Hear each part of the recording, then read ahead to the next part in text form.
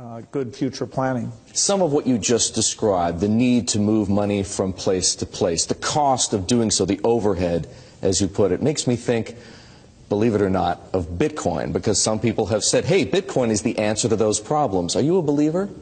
Well, Bitcoin is exciting because it shows how cheap it can be. Uh, Bitcoin is is better than currency in that uh, you don't have to ha- be physically in the same place. And of course, for large transactions, currency can, can get pretty inconvenient. The customers we're talking about aren't trying to be anonymous. You know, they're willing to be uh, known. So it, it, the Bitcoin technology is key, and you could add to it or you could build a similar technology